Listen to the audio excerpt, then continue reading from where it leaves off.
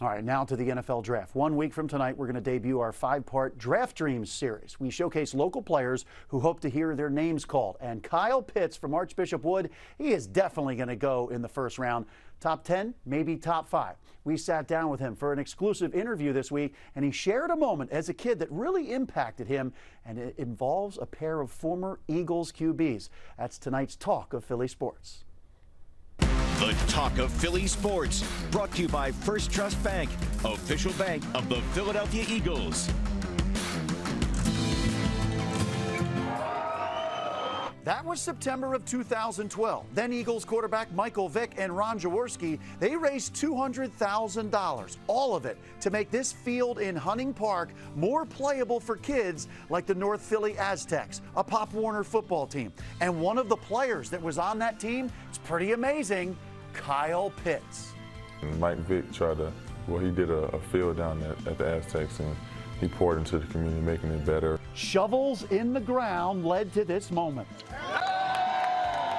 Vick spent time having a catch with the kids, and that is a moment that meant the world to Kyle, who at the time was just a seventh grader. When I met him, it was, you know, he's a childhood favorite of mine, so meet him in person, you know, throwing with him, him helping my Pop Warner team, it was, it was pretty special. It makes you feel amazing. Uh, actually gives me chills because, you know, that's a prime example of, you know, just the, the generational changes that, that we, we can control. If I could, you know, lend a football field some time and not just money to help a kid dream and, and be able to accomplish his dreams in life, that's what it's all about. Touchdown again, Pitts. Yes, Kyle will be very successful. He's one of the top rated players in the entire draft. And Vick, he was a top pick in the draft himself. He has certainly taken notice. Kyle's one of the best. He's different. He's Travis Kelce, he's, he's George Kittle, you know, all wrapped in one. And wherever Kyle goes, he hopes to make an impact on the two places that helped to mold him the Aztecs and his Archbishop Wood high school team. The Aztecs are the two places that are, you know, significant to me, and I always want to. They helped me to get where I'm at, so I want to help them get better. This is a success story that I hope a lot of people uh, gravitate to and follow. And, and it wasn't it wasn't just me. It was and Ron. You know, probably 30% us, but it was 70% Kyle Pitts standing on the right track and doing it the right way. And let's just hope kids follow that path.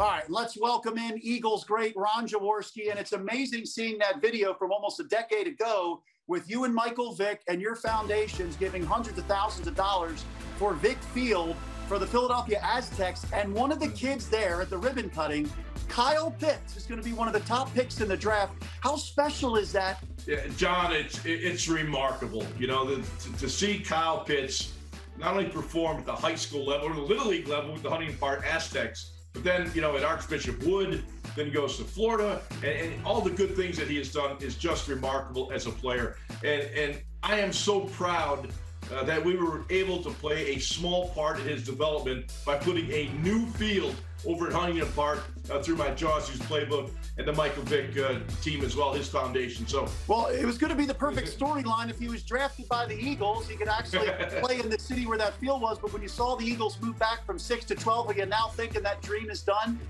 Yeah, I would think so. He's a top five player. I, I, when I look at him on tape, John, my eyes pop out of my head. This guy is six foot six, 245 pounds, runs a 4 4 40. He can play anywhere. Wide receiver, tight end, in the slot, out the backfield. He can do everything. And, and that's what you want in a football player. All right, so what did you think of them moving back? Do you agree with that, with what came out of it when you have a guy like Pitts there? Yeah, and Ja'Marr Chase will probably be likely be there at six as well. Those are two guys that I absolutely love outside some of the quarterbacks that I've broken down. Uh, but clearly, I think Howie made a really good move. He moved six spots from six to 12 and picks up another number one next year. So I, I think it was a good move. All right. So when you read the athletic article that came out recently, and it depicted a lot of dysfunction with within the Eagles, since you're very close with your Eagles organization, what did you think of a lot of the things in that article? You know, I, am I'm, I'm very close to just about every person that was mentioned in the article, and I know the, the quality of, of the people that they are. I know how much every single person cares about winning and cares about their teammates and their organization. Uh, sometimes things get out of control. And sometimes there is an organizational failure. It, it's not one person. I know how much, you know, Doug Pederson wanted to win. I know how much Howie Roseman wants to win and Jeffrey Lurie wants to win.